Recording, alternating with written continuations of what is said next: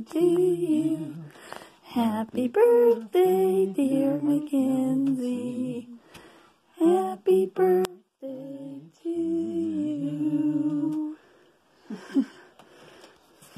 And 22 virtual spankings.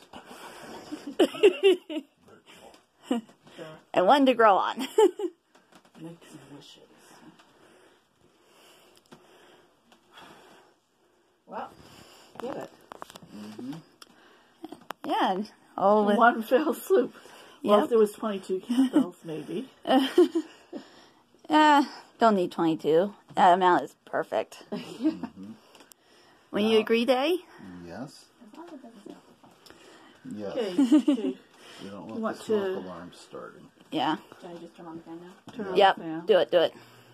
Yeah, we're paranoid. I don't want that bloody thing to go off.